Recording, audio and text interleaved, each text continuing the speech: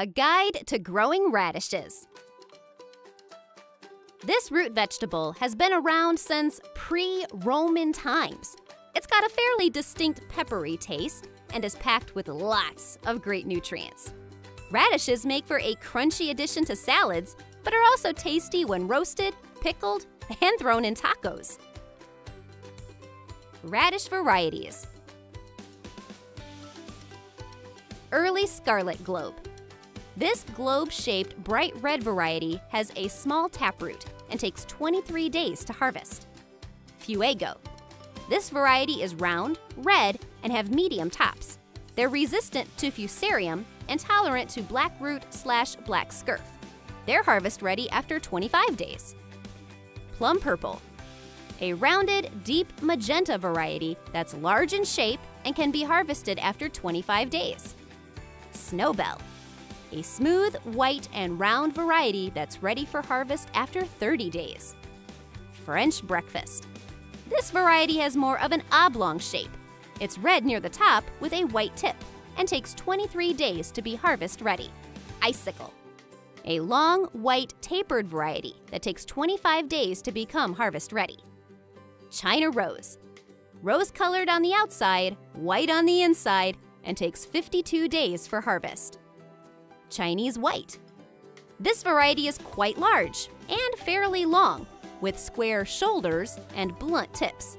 Its roots are creamy white, and it takes 60 days to become harvest ready. Round Black Spanish.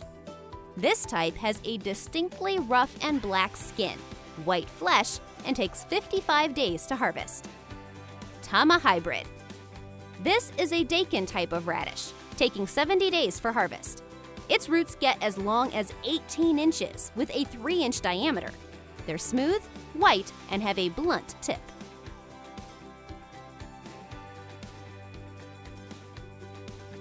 Radishes are always grown from seed, then directly planted so as not to disturb their roots.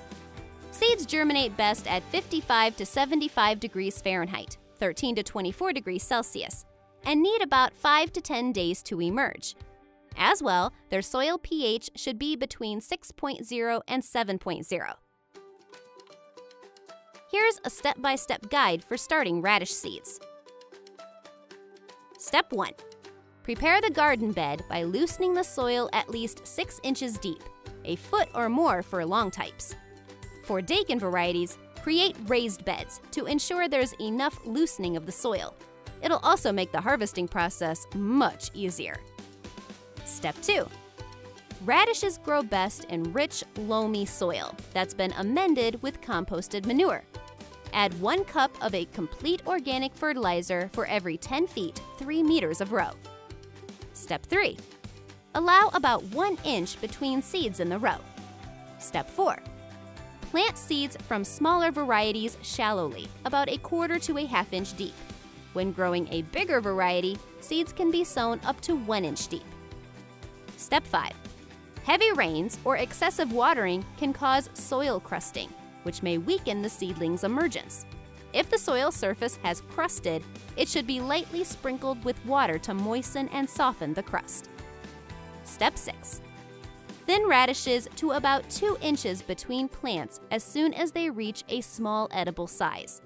For larger varieties, like daikons, allow 4 to 6 inches between plants. Pull any weeds from the row when thinning radishes. Note, although sunlight is needed for radish seeds to grow, it's not needed for them to germinate. Watering. Radishes are pretty low maintenance, needing little care after planting. One thing they do need, though, is a consistent and sufficient supply of water. Drought stress can cause their roots to develop poor flavor and a tough texture. So if radishes don't get an inch of rain each week, soak the soil thoroughly at least once a week to keep them nice and watered. Thinning. Thin radishes shortly after the seedlings emerge. Radishes are quick growers, so they need 1.5 inches of space between them for quick root growth. Bonus, any thinned leaves or roots can be eaten in salads. Weeding. Weeds should be removed carefully from around the radish plants because the radishes do not compete well. Weed control is especially important during and just after germination, when radish plants are growing slowly. It's helpful to avoid deep cultivation around the plants, though, since root pruning and damage will affect their growth and yield. Fertilizer By adding nitrogen fertilizer, or nitrogen rich organic manure, chicken coop manure, alfalfa pellets, compost tea, fish fertilizer, etc., close to the radish plants, it will help them to produce lush tops and small roots. A quarter cup of a nitrogen based fertilizer, 21 to 0 to 0, can also be applied for each 10 foot of row. Apply it about 3 to 4 weeks after the seedlings emerge to encourage them to grow quickly. Simply place the fertilizer to the side of each plant, then water it into the soil. Mulch. Mulching with 3 to 4 inches of herbicide-free grass clippings, weed-free straw, compost, or other organic material will keep the soil's moisture while keeping weeds at bay, which means that cultivation doesn't have to happen as often.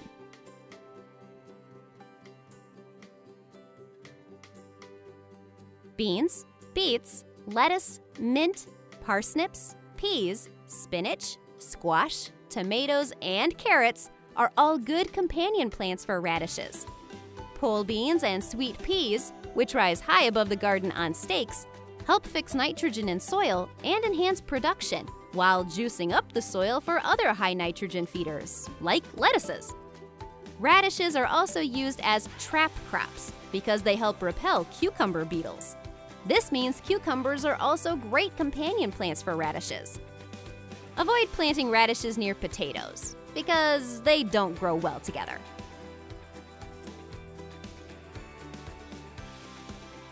Raised beds. A planting bed that sits on top of the existing soil. Raised beds should at least be 8 inches deep for radishes to thrive. Containers. Fast-growing radishes will thrive in pots, and this is also a great option when a garden area struggles with root maggots. In these containers, radishes will need at least 4 inches of soil depth, plus lots of water. Containers should also have holes in the bottom for drainage. A note about cruciferous crops. Before planting radish, which is a cruciferous vegetable, consider these important factors. 1. Make sure that no cruciferous crops or related weed, like wild radish or wild mustard, has been present in the growing space for at least two years.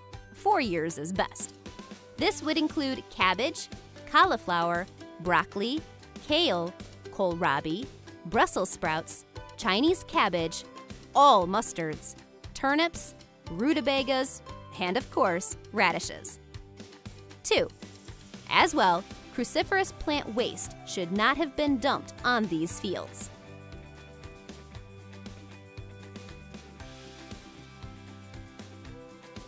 Aphids. These tiny pests come in a variety of colors green, black, red, light orange, or yellow, and mainly feed on the undersides of leaves and stems.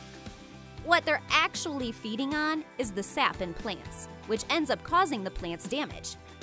Aphids also leave behind a sticky substance called honeydew, and they are a pest that's known to spread diseases.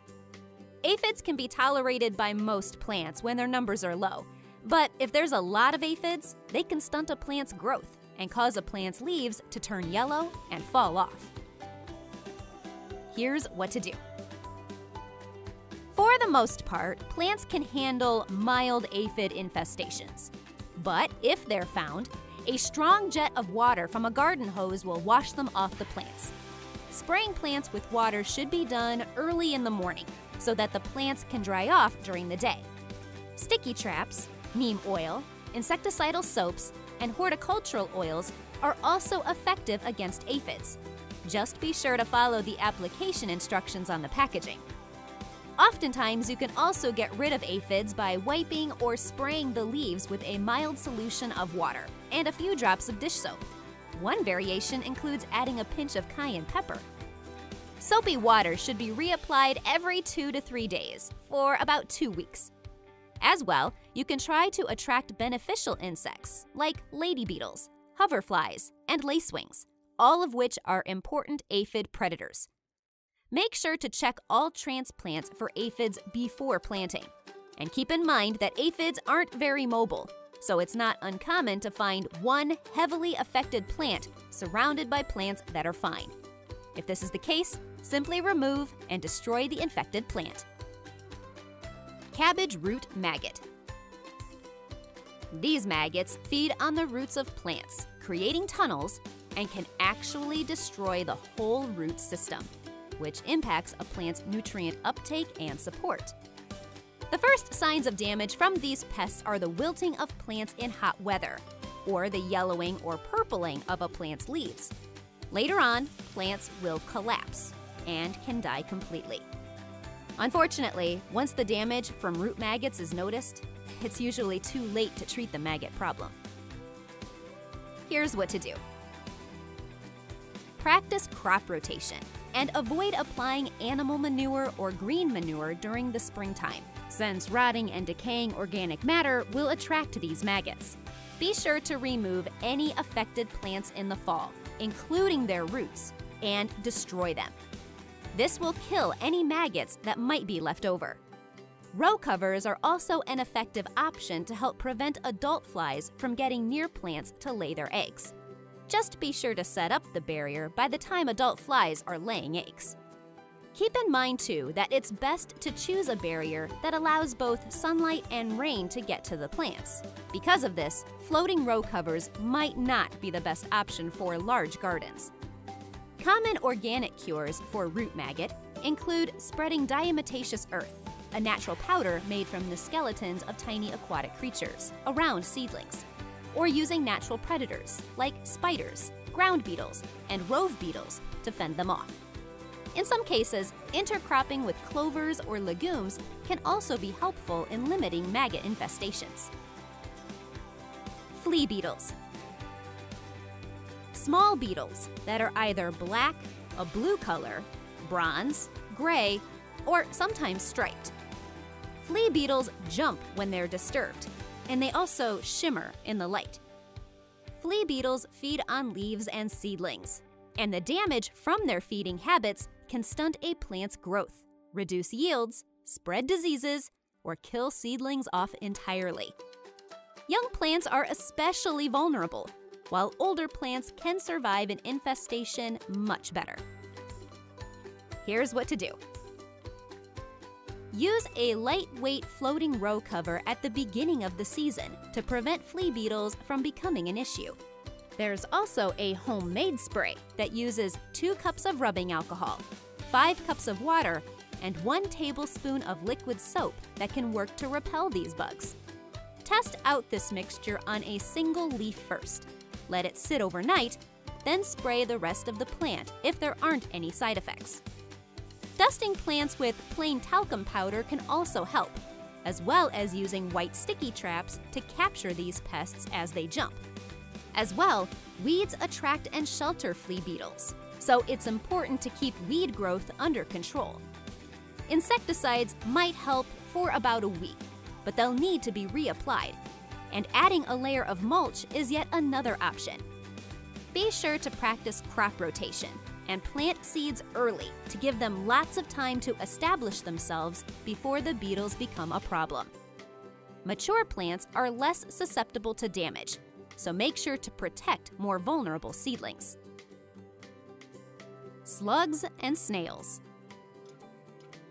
These slimy pests are either hard-shelled or soft, and they are nocturnal creatures who feed on the leaves and stems of a plant during the night.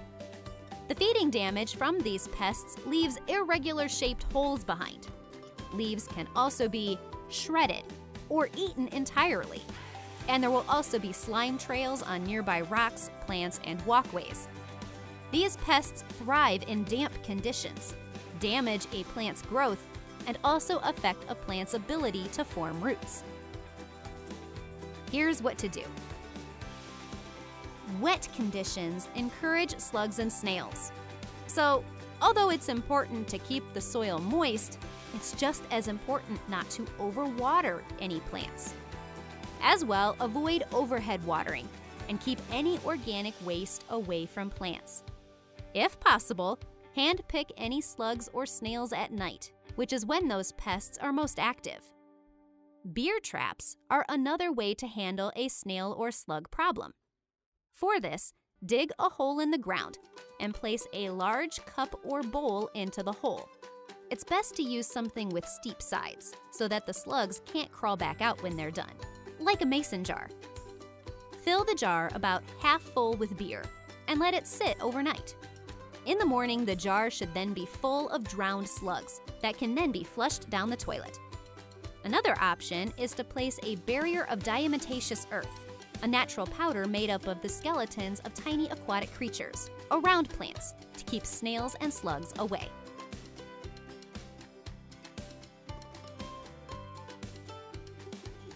Alternaria leaf blight. This fungus loves warm and wet conditions, causing brown spots with yellow edges to appear on the leaves, usually the oldest leaves first of a crop. The center of these lesions will also develop gray to brown soft fungal mold, eventually drying out and giving leaves a shot hole appearance. As the disease progresses, leaves will begin to curl and eventually will die and drop from the plant. This disease is common in growing areas with high temperatures and frequent rainfall. Here's what to do. Plant certified disease-resistant seeds when possible, and water plants from below to avoid having soil splash up onto the lower leaves of the plants. It's also helpful to water plants in the morning so that they have time to dry out during the day. In addition to watering plants from below, it's also helpful to provide a well-ventilated cover for the plants to protect the plants from rain. Be sure to clean any equipment between uses to prevent the spread of bacteria. And do not prune or handle plants when those plants are wet. As well, establish a crop rotation and stick to it. If there are any blighty leaves present, usually on the bottom of the plant closest to the soil, remove and destroy them. Finally, plant leaves can be sprayed with a baking soda solution. 1 tablespoon baking soda, 2.5 tablespoons of vegetable oil, and 1 teaspoon of liquid soap to 1 gallon of water. Or neem oil. Just take care not to use neem oil when pollinating insects, like bees or other beneficial insects, are present. Spray only a few leaves to start, then check for a reaction before applying every two weeks. Clubroot. This fungus lives in the soil and causes deformed roots, and those affected roots are then unable to absorb water and nutrients for the plant. Clubroot can actually remain in the soil for as long as 10 to 20 years under the right conditions, and this disease is typically more common in acidic soils. Unfortunately, clubroot can already be well established before any symptoms are visible above the soil. Here's what to do. Once clubroot is present in the soil, it can survive for many years, up to 20. So it's hard to completely get rid of it from the soil. If clubroot is present, it can help to solarize the soil. To do so, simply leave a clear plastic tarp on the soil surface for four to six weeks during the hottest part of the year. That tarp will trap the heat of the sun, which will help to reduce the presence of clubroot. As well, plant resistant varieties when possible. Keep a clean garden and rotate crops properly. For clubroot, a 5 to 7 year crop rotation is best. Carefully remove any infected plants and sterilize garden tools, 1 part bleach to 4 parts water after use. It can also work to try raising the soil's pH to a more alkaline 7.2 by mixing oyster shell or dolomite lime into the soil in the fall. Make sure soil is well draining too. Try to maintain high levels of calcium and magnesium in the soil, and don't move any infested soil into healthy areas. Downy mildew. This fungal disease thrives in cool, humid climates. At first, downy mildew causes leaves to turn yellow, typically starting from the main vein, then spreading outward. Fungal spores that are grayish purple fuzzy spots will then grow on the undersides of leaves. Downy mildew typically affects young, tender leaves, and severe infections can also cause curled and distorted leaves. Sometimes those affected leaves can then become dehydrated and then drop from the plant entirely. When seedlings are affected, their growth is stunted, and downy mildew can also reduce crop yields while acting as an entry point for other diseases. When older plants are affected, in addition to the lesions they get, they will also seem more rigid and narrow as compared to healthy plants. Here's what to do. Plant resistant varieties when possible. Practice good crop rotation Ensure good air circulation around plants, and water plants early in the morning. This last tip gives the plants enough time to dry out during the day, making those plants less vulnerable to infection. Downy mildew is usually spread when leaves are wet for too long, so it also helps to avoid overhead watering. As well, be sure to keep weeds from growing. Once plants have downy mildew, the best thing to try is to eliminate moisture and humidity around the infected plants. If possible, try to improve their air circulation through selective pruning. In general, downy mildew normally clears itself up in an outdoor garden once the weather warms up, since it doesn't do well in warm temperatures. Also, if there are any infected plants, be sure to remove all crop remains after harvest to avoid reinfection since this fungus can survive in crop residue. Keep in mind too that downy mildew is much easier to control when a plant's leaves and fruit are kept protected by a copper spray. Copper treatments can begin two weeks before the disease normally appears and when a long period of wet weather is in store. Copper treatments can also start when the disease first appears, then those treatments can be repeated at 7 to 10 day intervals for as long as the treatments are needed. Fusarium root and stem rot. This disease causes the stems of a plant to swell and become distorted at the base of the plant. Any affected areas will begin to wilt and turn brown, and eventually these areas will dry out and harden.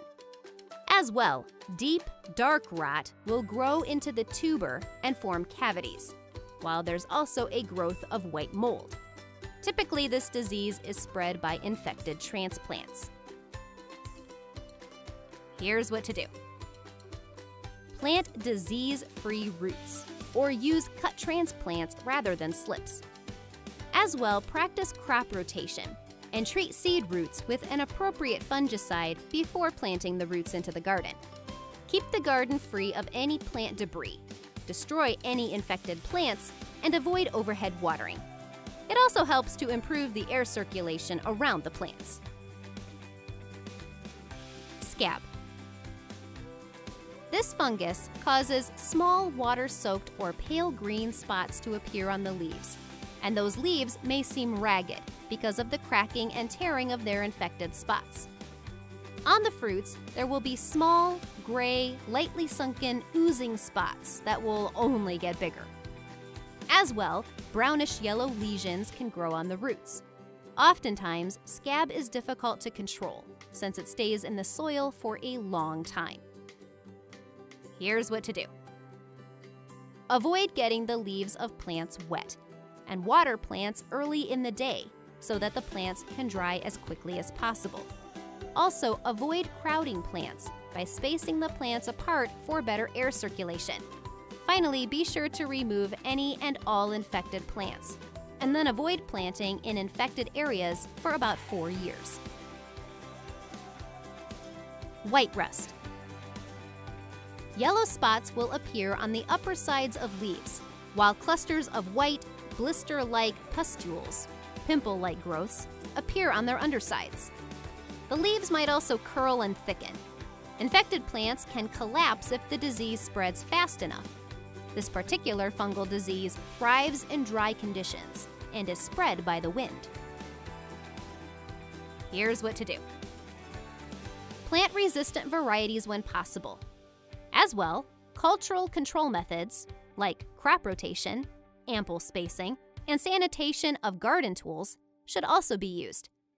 If the disease progresses, then a fungicide can be used to manage the spread of white rust.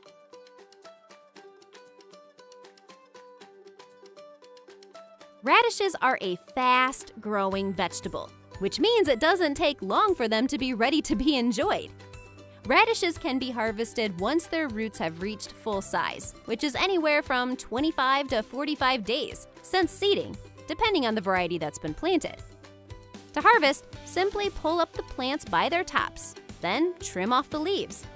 Next, wash them before sticking them in plastic bags and storing in the fridge for two to four weeks. Radishes should be harvested before any frosts or freezes. With daikon varieties, their shoulders, the top of the vegetable, will typically stand up out of the soil. To harvest daikons, use a spade or fork underneath the crop to harvest their long roots without breaking them.